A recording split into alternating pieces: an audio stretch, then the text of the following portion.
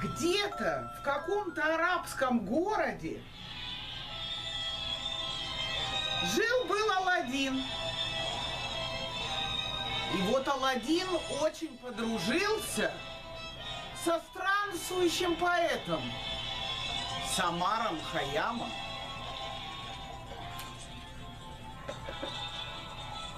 Сын мой, запомни несколько простых истин – Чтоб мудро жизнь прожить, знать надо немало. Два важных правила запомни для начала. Ты лучше голодай, чем что попало есть. И лучше будь один, чем вместе с кем попало. Не предавай друзей, их не заменишь. И не теряй любимых, не вернешь. Не лги себе, со временем проверишь, что этой ложью сам себя ты предаешь.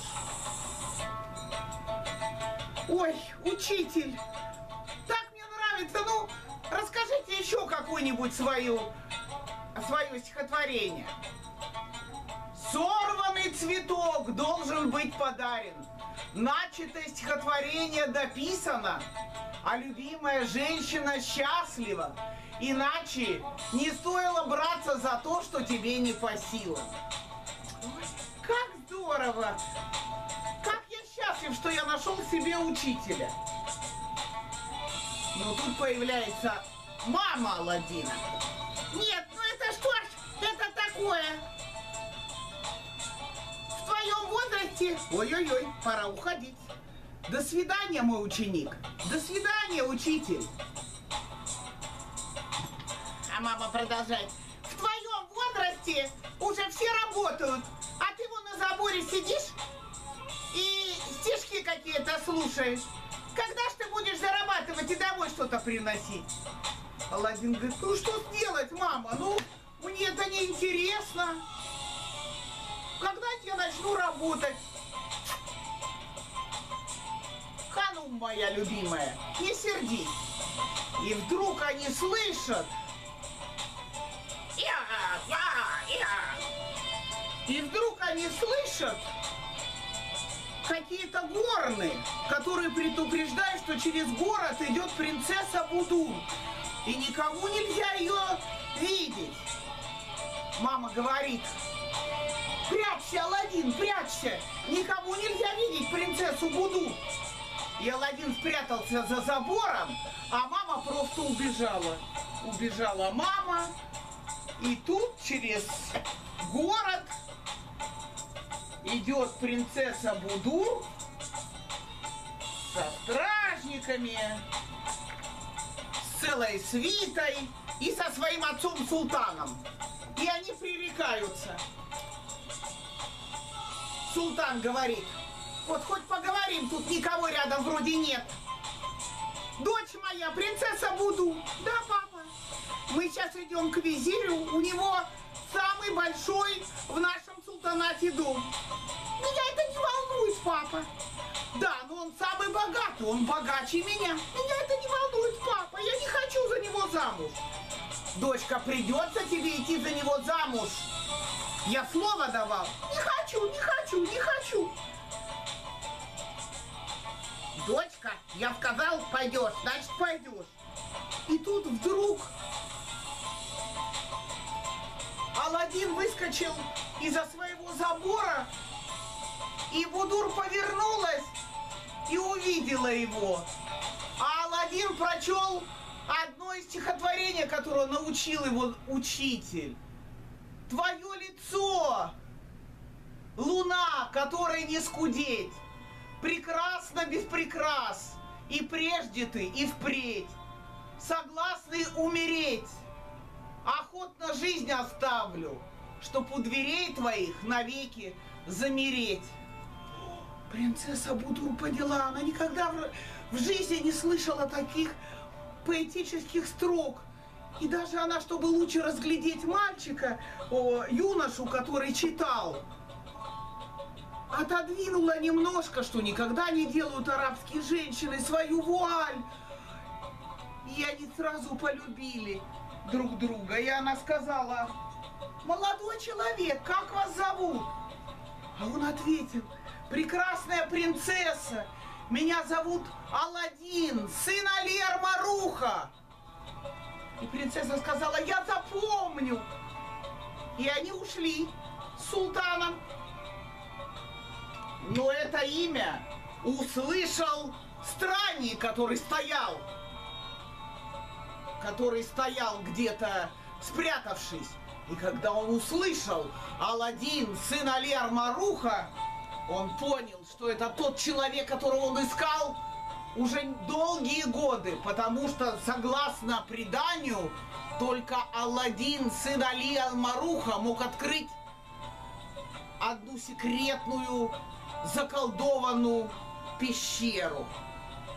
И этот колдун из Магриба сказал, ну все, теперь все, богатство мира будет моим. И он э, подошел к Аладдину и говорит, не ты ли Аладдин, сын Али Армаруха? Да, это я. А странник сказал, дорогой мой племянник, я искал тебя 40 лет. А Аладдин сказал, ну моего папы, который умер 8 лет назад, никогда не было братьев.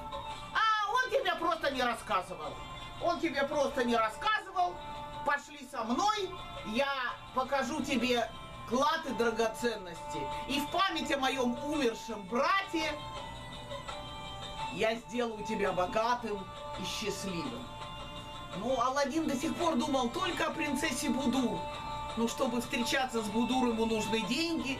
И он пошел с этим странником, который назвал себя его дядей.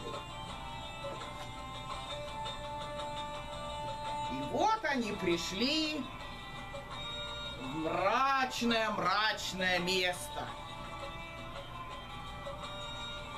Мрачное место, где был какой-то камень, не поймешь какой. И магрибский колдун сказал, Алладин, сейчас я про произнесу заклинание, и ты сможешь повернуть этот камень и спуститься в подземелье. Там богатство неописуемый, но мне ты принесешь только старую лампу. Старую лампу? Да, ты увидишь старую лампу, и ты мне ее принесешь. Аладдин сказал, хорошо, дядя. И тут дядя стал колдовать и говорит, трах, тебедох, бомбардия, киргуду. И камень отодвинулся сам собой. Ой, дядя аж рухнул. Он никогда, он знал про это, но никогда не видел. И он сказал, крикнул, Аладдин, сын Алел Маруха, полезай вниз, вниз в пещеру. И смотрит Аладдин, а как-то страшно. И вороны кричат, кар, кар, кар. И камень похож на череп. Ну что делать? И Аладдин полез вниз. Кар, кар, кар. Полез и увидел драгоценности полно. Он себе там набил карманы,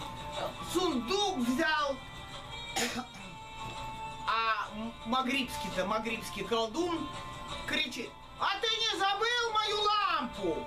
Аладдин говорит, ой, сейчас возьму. Короче, взял он еще и лампу, и ползет наверх, уже готов выходить, а колдун ему говорит, кидай мне лампу. Нет, сейчас я вылезу. Я сказал, мне вылезти, дядя. Ах, будь ты проклят, сказал колдун. И закрыл вот эту пещеру. И Аладдин остался под землей. Но тут появляется огромная, огромная из-под черепа змея. И она сказала, я охраняла этот клад тысячу лет, и я его никому не собираюсь отдавать. Особенно такому магрибскому колдуну. И она его замотала и с собой утащила навсегда. Ну, а Аладдин внизу сидит и думает, а как же мне отсюда выбраться? Как же мне выбраться на поверхность? И деньги у меня есть, и все есть. Ну, темно, ничего не видно, украшений полно набрал. Но как же отсюда выйти на поверхность? Хоть бы лампа, что ли, работала.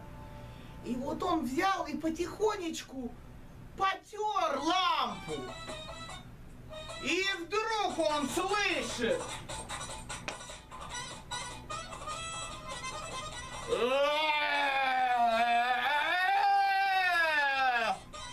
Он испугался и говорит, ты кто? Я Джин этой лампы. Я раб этой лампы.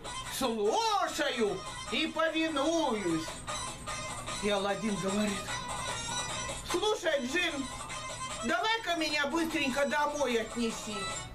И Джин сказал, будет исполнено, мой повелитель.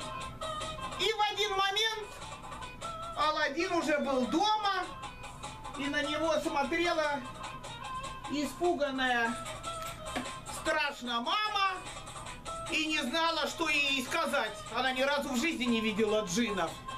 А Алладин сказал, мама, я разгадал секрет волшебной лампы. Я обманул магрибского колдуна. Теперь у нас и лампа, и драгоценности. И я влюблен и хочу, чтобы ты пошла свататься на, за принцессой Буду. Ну, мама не знала, что сказать на такое дело. Потому что она сказала, сыночек, Алладин, да какая ж тебе принцесса Будур, мы из простых людей. Он говорит, важно, мама. Это совершенно не важно. Я теперь, может быть, богаче самого султана. Так что, ну, чтобы мы были, чтобы ты научилась, как надо пользоваться лампой, ее надо чуть-чуть потереть. А мама говорит, да я и трогать ее не хочу. А в это время Алладин думает, а что ж мне делать? Так мне надо принцессу Будур, чтобы Джин сюда принес. Он сказал, Джин, ты еще тут? А Джин говорит, я всегда тут, в лампе. Он потер, потер и говорит, быстро принеси мне сюда принцессу Буду. Не прошло и секунды, и появляется совершенно удивленная принцесса. И говорит, ой, что это, ты кто? А мама говорит, я Фатима, а ты кто? Она говорит, как это я кто? Я принцесса буду. Ой, Алладин. А как же так получилось, что я здесь оказалась? А Алладин говорит, секрет. Я тебе не скажу, как так получилось. А принцесса ж ничего не знает. Она смотрит вокруг, видит,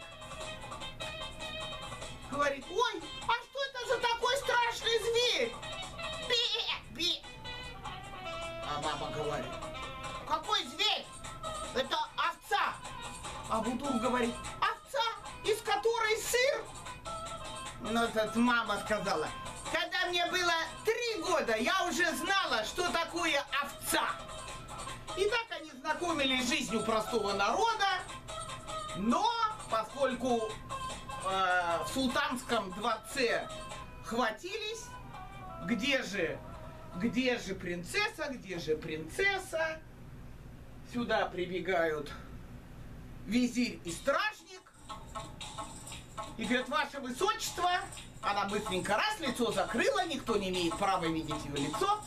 Они говорят, принцесса Будур, нам пора возвращаться во дворец. Визирь говорит, Ты, слуга, пошел вон, ты арестуешь Аладдина. А я со своей невестой сам до дворца заберусь. И вот главный визирь, который хочет жениться на Будур, увел. Ух, увел Будур.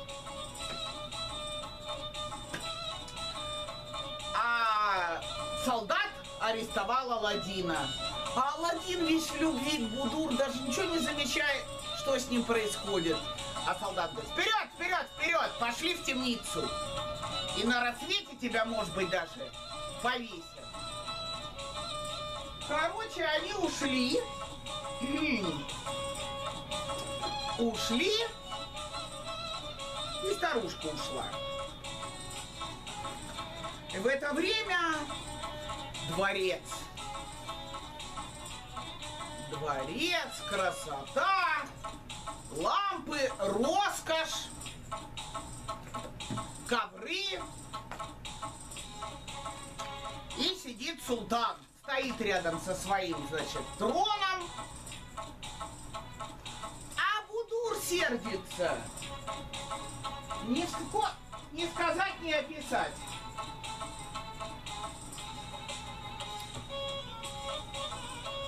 Перед ней танцует наложница. В арабских дворцах всегда наложницы танцевались рабыни. Да-да-да. Эх,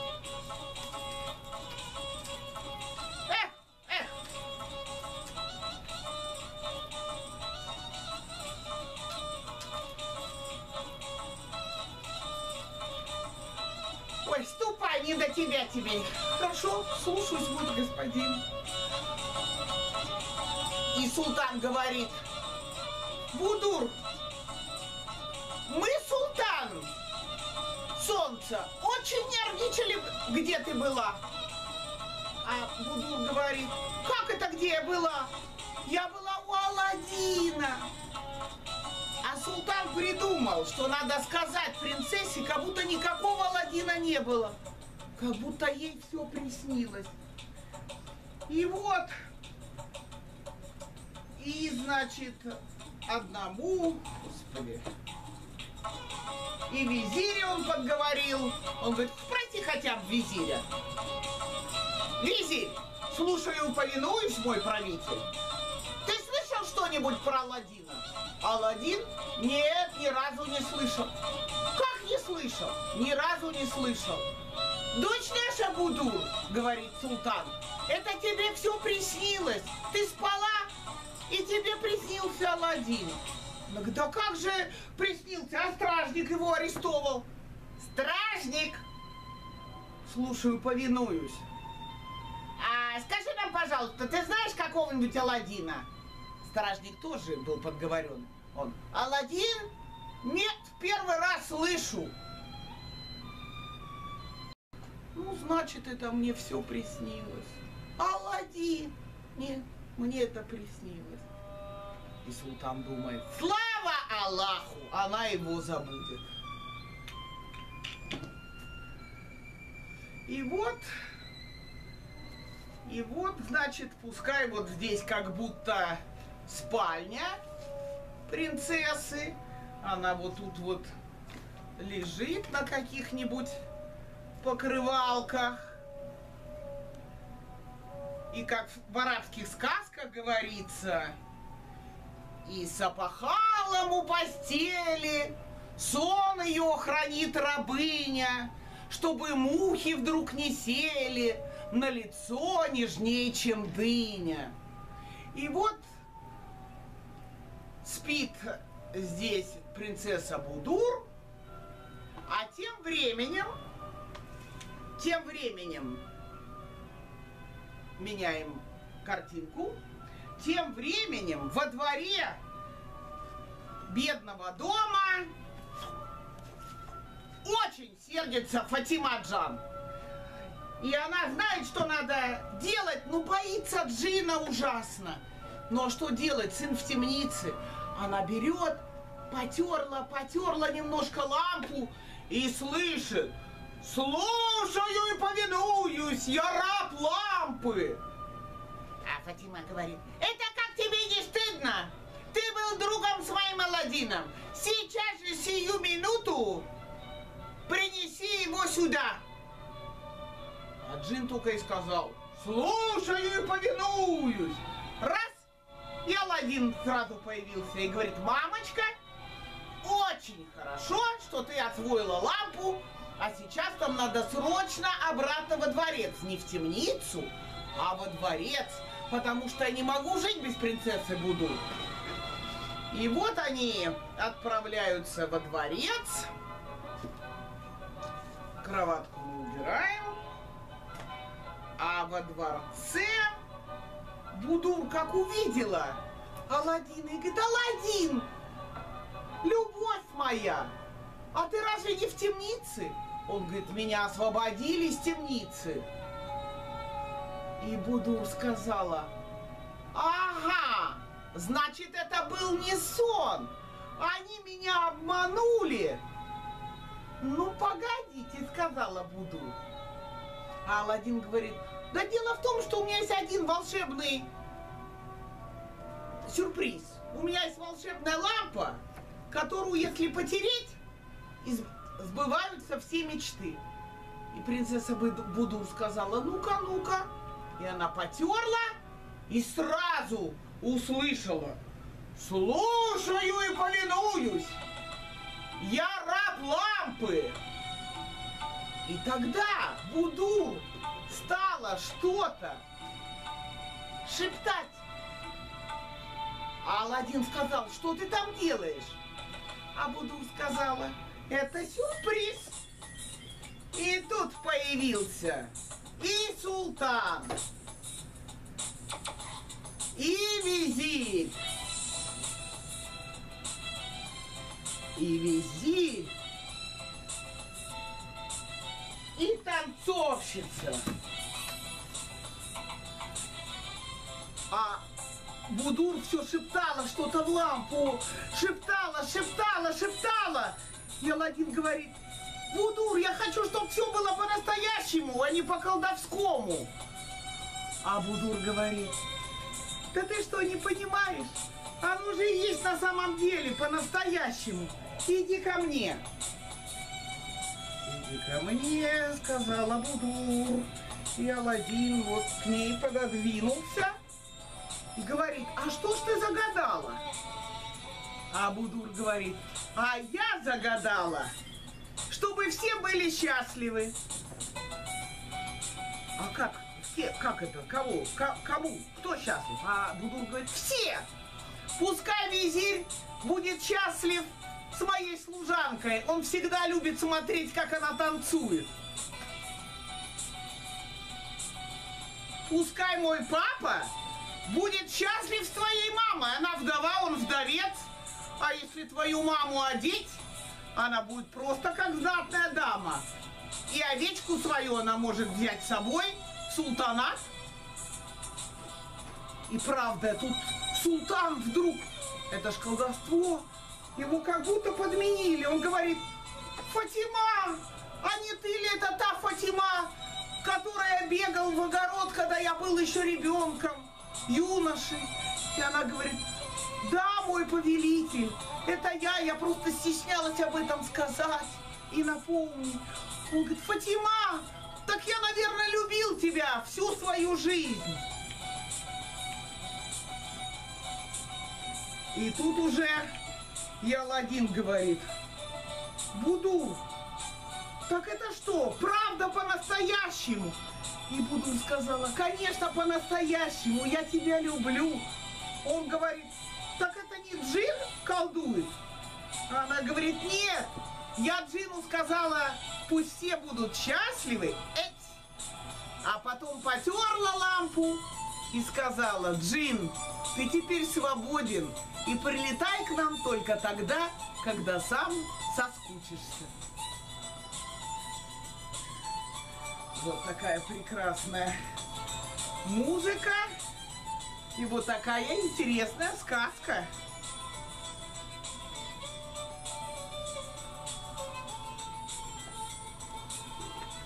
Вот такая сказка про Аладдина, принцессу Будур и волшебную лампу, из которой всегда появляется джин. Так,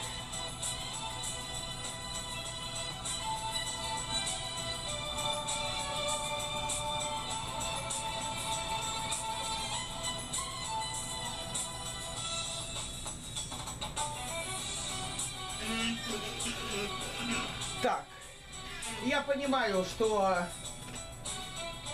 сказка получилась немножко неожиданной, но от этого, я надеюсь, она еще более интересная. По мотивам арабских сказок, сказка про Аладдина и его волшебную лампу вы послушали. Музыка, которую вы слушаете, прекрасная персидская музыка. Это иранская народная музыка.